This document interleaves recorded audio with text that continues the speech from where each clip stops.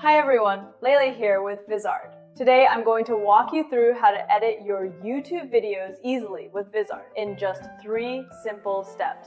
Step 1. Upload your video. Start by pasting your YouTube link or dragging your video file into Vizard. No need to download anything beforehand. Step 2. Clip or trim your video. To create short YouTube clips effortlessly, just click Get AI Clips. Before you start, be sure to set the aspect ratio that works best for YouTube.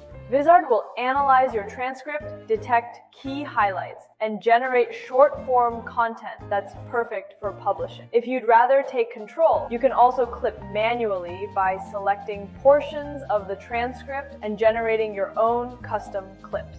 Step 3. Export and publish.